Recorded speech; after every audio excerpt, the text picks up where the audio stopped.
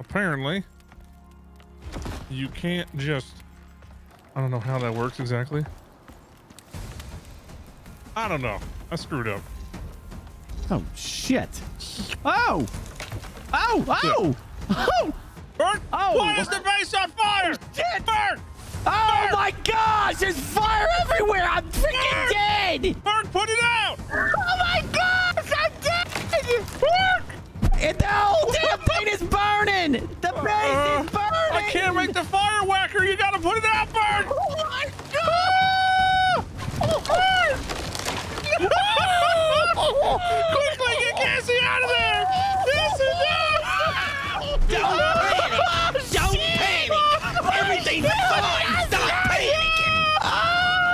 Our home! What have you done? Gassy, I'm The actual fuck! I come back and everything is on fire. What? i- What? Oh, you know, uh, Burke just burnt the house down somehow.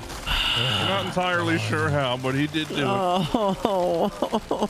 I just hear fucking just loud noises. Oh, that is fucking my frames up. Oh my god. It looks really cool, but oh my god, the frames. I think we, Well- need, we need we need a fire pit. No, you need the fire whacker. That's an actual thing. Common sense. Yeah, you're supposed to put the fire out after a bit. There's Okay, a wolf walking listen. around in there. I t- opened a window. I walked across the fire, the the fire pit. It set me on fire, and then I ran panicky to get away from it, and it set the entire house on fire. So you were on fire and you walked inside of the house and you were surprised when it caught the house on fire? When has this ever been a thing in a game? I've never seen games burn down your entire house over that. it didn't do it in Ark. It didn't do it in Rust. It doesn't do it in anything. And Burke has struck again. Oh, the Burkening never fails. Well, we had a lovely home filled with things, and now it's uh, uh, a bunch of overflow bags.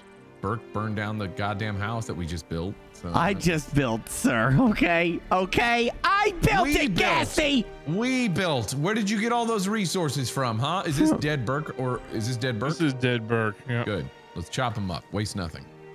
He's got a bunch of stuff on him, and we got a bunch of overflow bags Have here I with been all our holding a wolf this entire time? Yep. Thank God the wolf survived the fire.